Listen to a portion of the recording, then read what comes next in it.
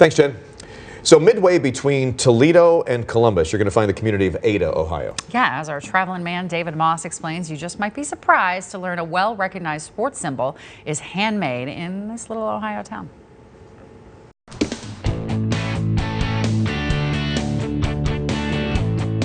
Four thousand balls a day. That's right. Since 1955, every football used in the NFL has been made right here in Ohio. We're headed to the Wilson Football Factory.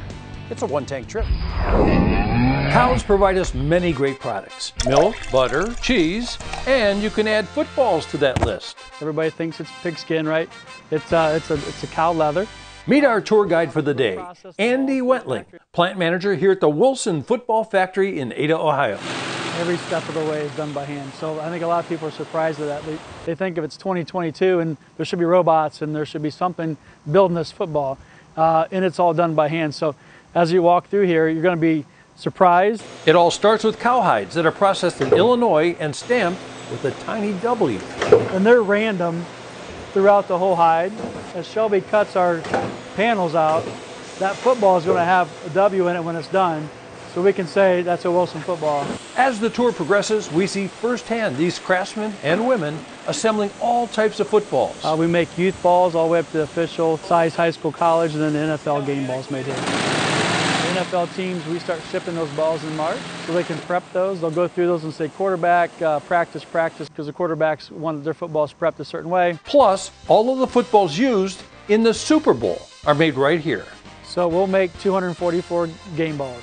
And that's just for the big game. So we're, we're probably going to hit close to 500,000 footballs this year. It's all sizes from K2, which is the real, real small ball, to the official uh, NFL game ball. We do CFL. It's really cool. As our tour passes through the facility, we see the balls stretched and turned inside out, laced up and inflated. So she's going to load two balls in the mold, put the needle in. It's going to go closed. What we're doing is we're putting pressure inside that bladder. And what that does is pushes that leather out to the mold to give its ball shape. After testing and inspection, these footballs are ready for game day, but you can score one for yourself when you stop by the gift shop. The Wilson Football Factory Tour, the only place in the world where you can see NFL footballs being made. And it's just a one tank trip away. David Moss, Fox 8 News. For information on tours of the Wilson Football Factory and all of our one tank trips, head to fox8.com.